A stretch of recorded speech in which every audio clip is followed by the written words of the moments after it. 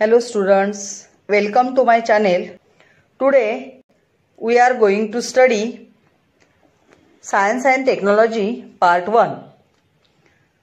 Chapter 7 Lenses.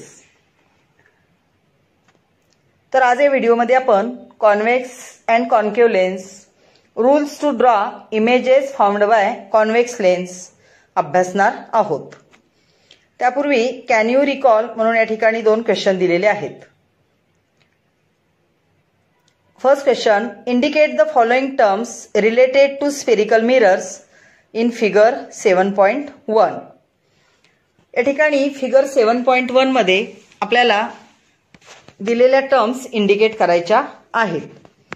पहा poles pole is denoted by letter P and centre of the mirror is known as pole and it is denoted by P centre of curvature center of the sphere is known as center of curvature and it is denoted by letter C. Radius of curvature means center of sphere, distance between center of curvature and any point on a mirror is known as radius of curvature and radius of curvature is denoted by letter capital R. Principal focus is lie between center of curvature and pole and it is denoted by capital F is the principal focus and its principal axis. तर याला principal axis असे म्हणतात next question how are concave and convex mirrors constructed the given part of a hollow spherical glass can be converted in to concave mirror by polishing its inner side to make it reflecting काय केलं जातं? आता हाच mirror पहा. याची inner side polish केली. And coating it outer side with a thin layer of silver and painting it with red colour तर बाहेर ह्या ज्या लाईन दिसत आहेत याचा अर्थ काय होतो? त्या कोट केलेल्या आहेत. सिल्वर आउटसाईडला सिल्वर कोट दिलेला आहे आणि त्याच्यावरती रेड कलरचं पेंटिंग आहे. तुम्ही फुटलेला काचेचा आरशाचा तुकडा पाहिला असेल त्याच्या पाठीमागे आपल्याला रेड कलर दिसतो. Then convex mirror. The given part of a hollow spherical glass can be converted into convex mirror by polishing it outer side to make it reflecting or coating its inner side with a thin layer of silver and painting it with a red colour समजा याचाच याच स्पिअरचा आपण असा दुसरा एक surface cut करून घेतला याचा बाहेरचा सरफेस रिफ्लेक्टिंग आहे आणि इनर सल्फेटला सरफेसला काय केलं आपण? सिल्वर कोटिंग करून त्याच्यावरती रेड कलर दिला. तर त्याला काय म्हणतात? Convex lens lenses you must have seen lenses use in day to day life तर आपल्या दैनंदिन जीवनामध्ये तुम्ही लेन्सेसचे उपयोग पाहिले असतील. Some examples are given here the lenses used by old persons for reading lenses embedded in front of in front door of the house the lens which the watch maker attaches to his eye तर पहा वयस्कर व्यक्ती paper वाचण्यासाठी किंवा पुस्तक वगैरे वाचण्यासाठी लेन्सचा वापर करतात ज्यामुळे त्यांना अक्षरं मोठी दिसतात. Lens embedded in front of the door आपल्या मेन डोअरला आपण छिद्र पाडून एक लेन्स त्या ठिकाणी बसवलेला असतो. त्या छोट्याशा लेन्समधून आपल्याला घरातून बाहेर व्यक्ती कोण उभी आहे हे आपल्याला पाहता येते. The lens which the watch maker attaches the his eye तर घड्याळ दुरुस्त करणारा घड्याळजी त्याच्या डोळ्याला एक लेन्स लावतो ज्यामुळे घड्याळातले छोटे छोटे पार्ट त्याला क्लिअर दिसतात. A lens is a transparent medium bound by two surfaces तर लेन्स हे ट्रान्सपरंट मीडियम आहे. आता हे दोन सरफेस आपण अटॅच केले इकडून एक आणि इकडून एक. तर लेन्स फॉर्म होतो. आता या ठिकाणी दोन प्रकारचे लेन्स आपल्याला अभ्यासायचे आहेत. Convex lens and concave lens it's a convex lens second is concave lens तुमच्या लक्षात आलं असेल हे बाहेरच्या बाजूने याचा स्पिरिकल भाग बाहेर आहे आणि याचा स्पिरिकल भाग आतून आहे. आता डबल कॉन्व्हेक्स लेन्स किंवा bi convex lens and bi concave lens means first bi convex lens और double convex lens the lens which two which has two spherical surfaces which are puffed up outwards is called convex और double convex lens तर याचं जे spherical surface आहे तो बाहेरच्या बाजूने फुगीर आहे. त्याला काय म्हणतात? Convex or double convex lens this lens is thicker near the centre as compare to edges तर हा मधला भाग आपल्याला जाड दिसतो आणि साईडचा भाग निमुळता दिसतोय पातळ दिसतोय. The lens with both surfaces spherical on the inside is called concave or double concave lens आता हा पहा स्पिरिकल सर्फेस इनसाइडला स्पिरिकल आहे. सॉरी लेन्सचे जे सर्फेसेस आहेत ते आतल्या बाजूने कसे आहेत? स्पिरिकल आहेत. याला काय म्हणतात? Concave or double concave lens this lens is thinner at the centre as compare to its edges तर हे लेन्स जे आहेत ते सेंटरला काय असतात? थिनर असतात. त्याच्या एजेसच्या कम्पॅरेटिव्हली पहा या ठिकाणी साईडचा भाग जाड दिसतो आणि मधला भाग निमुळता दिसतो. Different types of lenses are shown in figure seven point two या ठिकाणी टाइप्स ऑफ लेन्सेस दिलेले आहेत.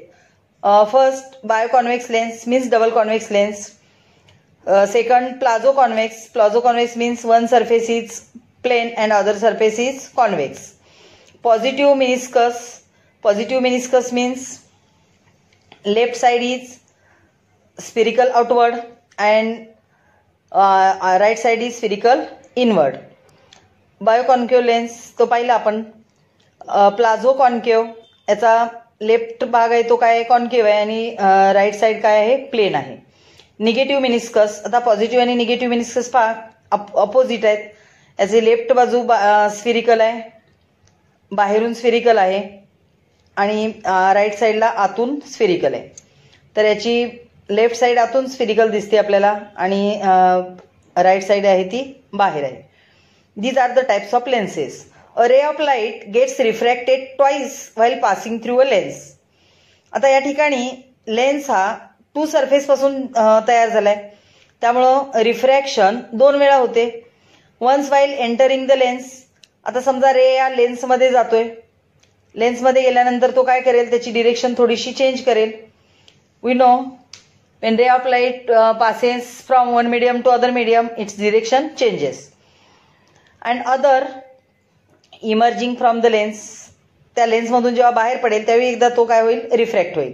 The direction of the ray changes because of this refraction both the surfaces of most lenses are parts of a sphere तर हे दोन्ही जेही part आहेत ते काय आहेत? स्पियरचे पार्ट आहेत. Cross sections of convex and concave lenses here two spheres S one and S two C one and C two are its centre of curvatures R one and R two are the radius of curvatures O is optical centre of lens पा हा जो भाग आहे तो S two mirror lens S two स्पिअरचा part आहे आणि हा भाग आहे तो एस वन स्पिअरचा पार्ट आहे ते दोघे जॉईन केलेत आणि मध्ये जो त्याचा सेंटर आहे त्याला काय म्हटलेलं आहे ऑप्टिकल सेंटर तर हा कशाचा क्रॉस सेक्शन आहे कॉन्व्हेक्स लेन्सचा क्रॉस सेक्शन आहे तर हा कॉन्केव लेन्सचा क्रॉस सेक्शन आहे S1 and S2 are two spheres. Here C1 and C2 are center of curvature. R1 and R2 are the radius of curvatures. O is the optical centre हा O इथं आहे. इथं जागा नाही म्हणून त्यांनी नाव वरती दिलेलं आहे. तर centre of the lens is known as optical centre and is denoted by letter O. The cross sections of convex and concave lenses are shown in parts A and B. A आणि B या दोन part पार्टमध्ये काय केलेले आहे त्याचे cross sections दाखवलेले आहेत. The surface marked as one is part of sphere S one हा वन आहे तो एस वन या स्पियरचा पार्ट आहे. While surface two is part of sphere S two similarly here part one is a part of S one sphere and part two is a part of S two sphere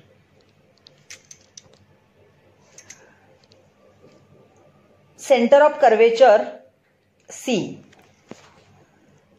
आता आपल्याला तुम्ही पाठीमागच्या इयत्तेमध्ये ninth स्टँडर्डमध्ये मिररचे centre of curvature radius of curvature principal axis optic sorry pole त्या ठिकाणी pole होता optical centre नव्हतं पोल होता.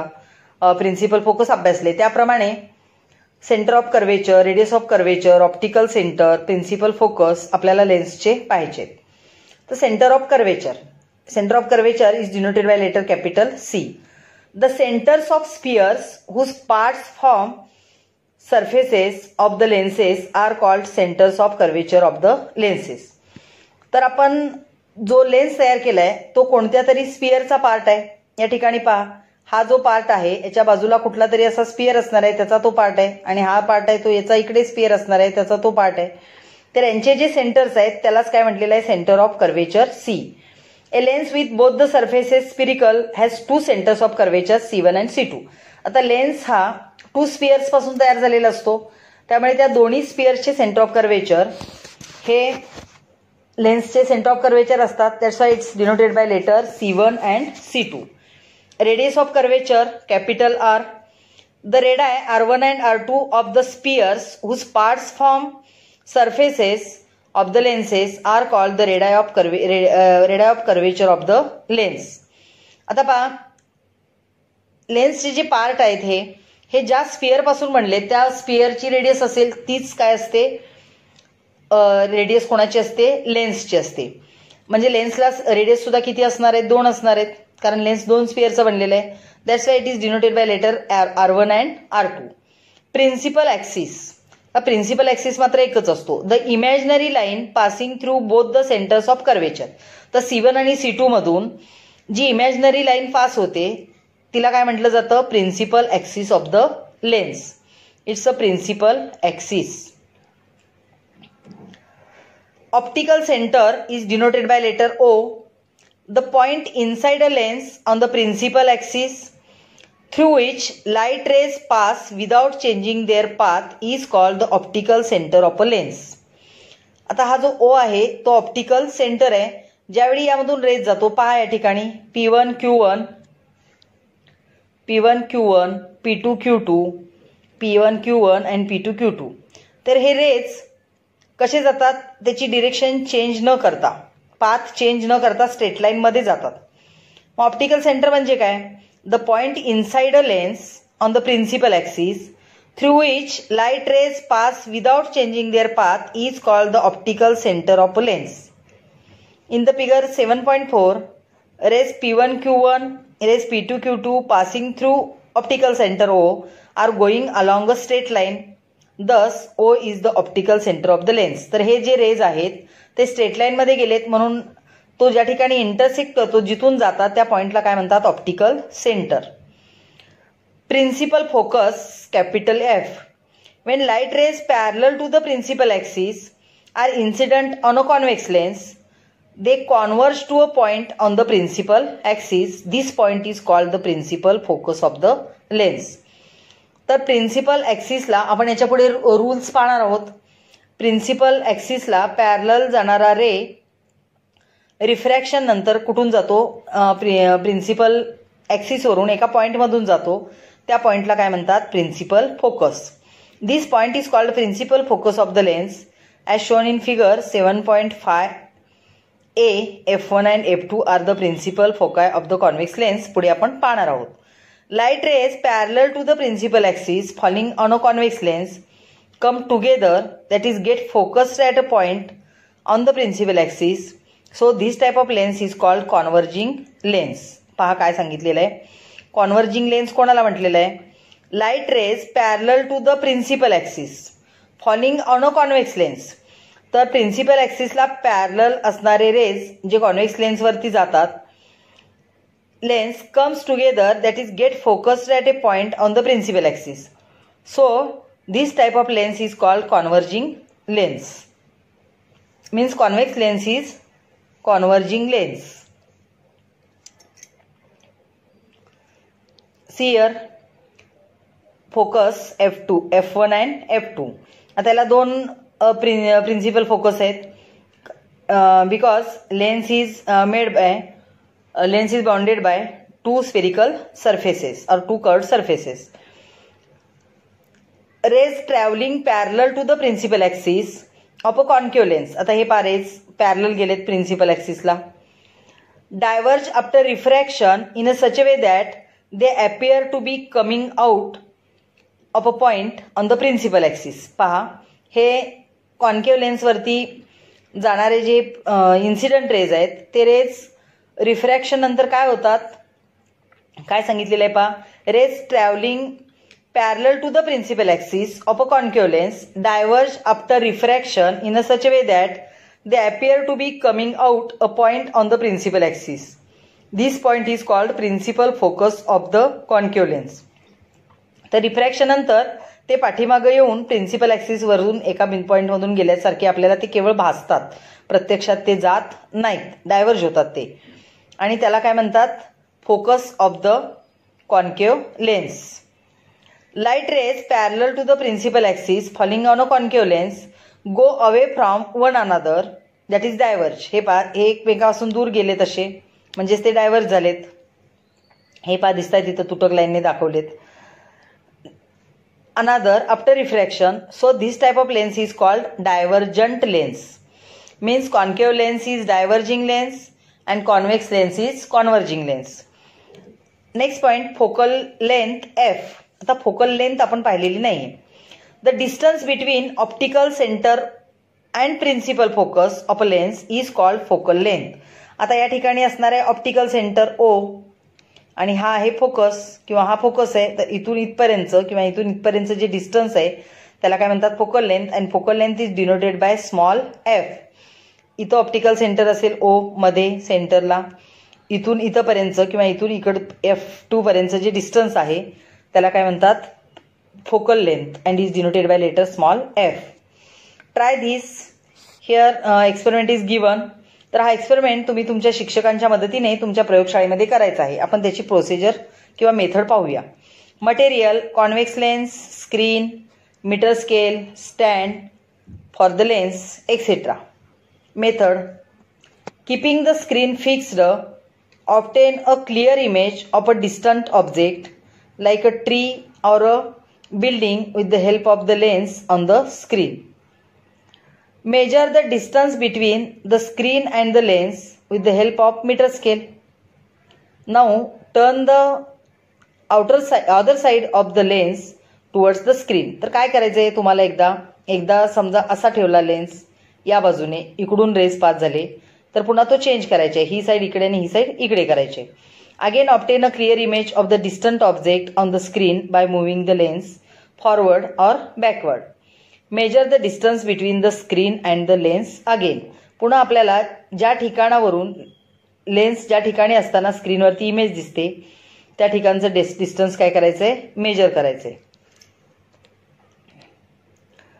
What is this distance between the lens and the screen called तर स्क्रीन आणि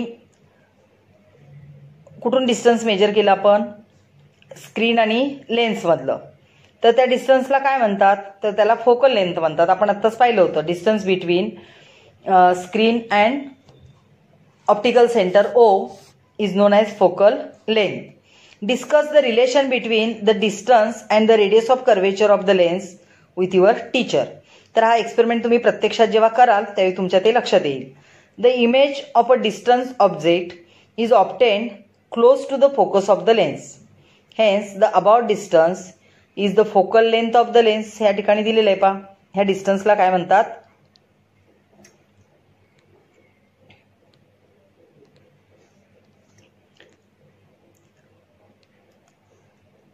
तर या डिस्टन्सला काय म्हणतात? Focal length of lens what will happen if you use a concave lens in this experiment आता या ठिकाणी जर कॉन्केव लेन्स यूज केला तर काय होईल? If a concave lens is use in the above experiment no image will be form on the screen तर स्क्रीनवरती इमेज फॉर्म होणार नाही. कॉन्केव लेन्स वापरून आपल्याला इमेज फॉर्म करता येणार नाही हे तुम्ही लक्षात ठेवा. Next ray diagram for refraction आता रिफ्रॅक्शनची रे डायग्रॅम पहा.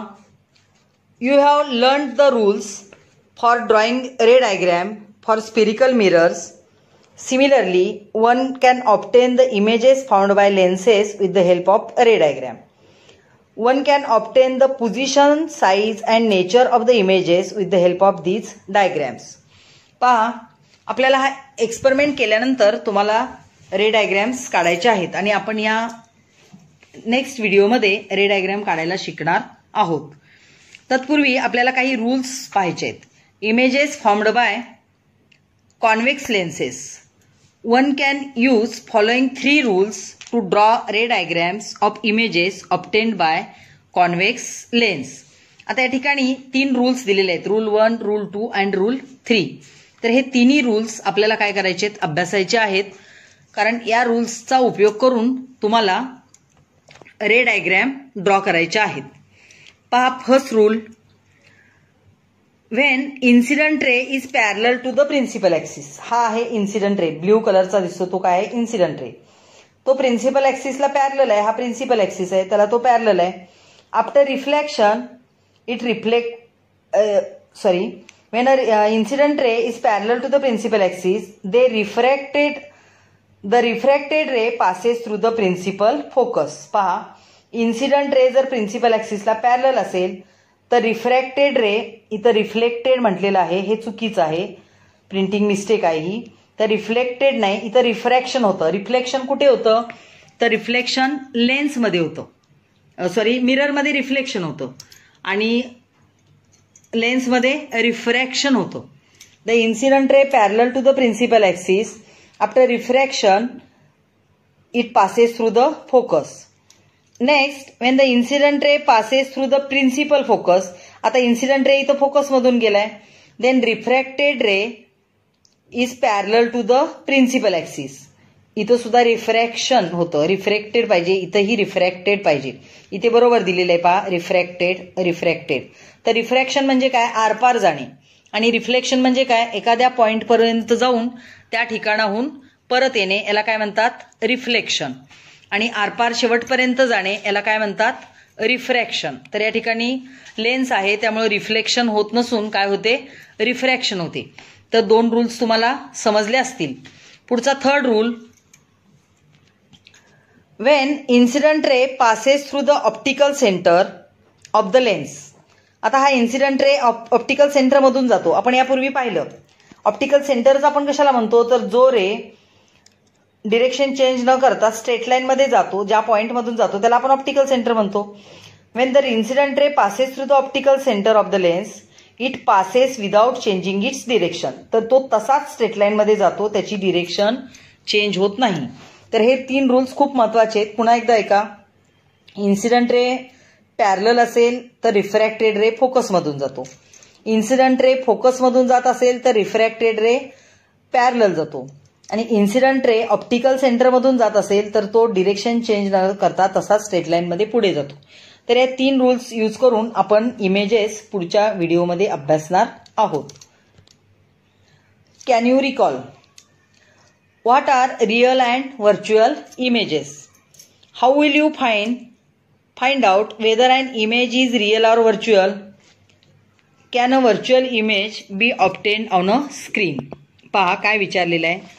What are real and virtual images म्हणजे आपल्याला रिमे रिअल इमेज म्हणजे वास्तव प्रतिमा मराठीमध्ये.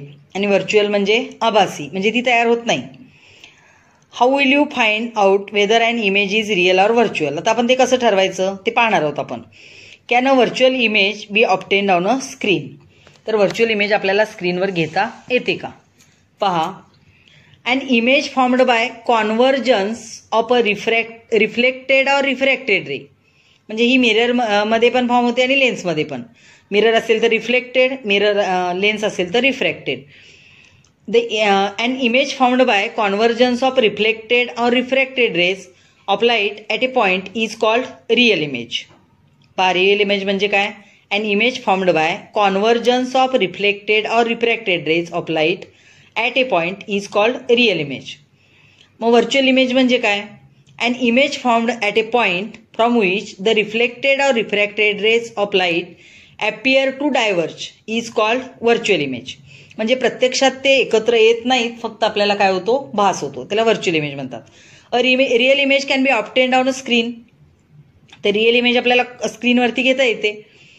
आणि जी इमेज स्क्रीनवरती घेता येते ती रिअल असते. आणि जी इमेज स्क्रीनवरती घेता येत नाही ती व्हर्च्युअल असते. A virtual image cannot be obtained on screen तर व्हर्च्युअल इमेज आपल्याला स्क्रीनवरती घेता येत नाही. मग आपण कसं ठरवणार इमेज रिअल आहे की virtual this is how we can find out whether and image is real or virtual म्हणजे स्क्रीनवरती घेता आली तर रिअल इमेज नाही घेता आली तर virtual image as shown in the figure seven point seven real image formed by convex lens या ठिकाणी seven point seven सेवनमध्ये real image found by convex lens दाखवलेली आहे. पहा. And object A B is placed beyond the point two F one two F वनच्या पाठीमागे A B हा object ठेवलेला आहे.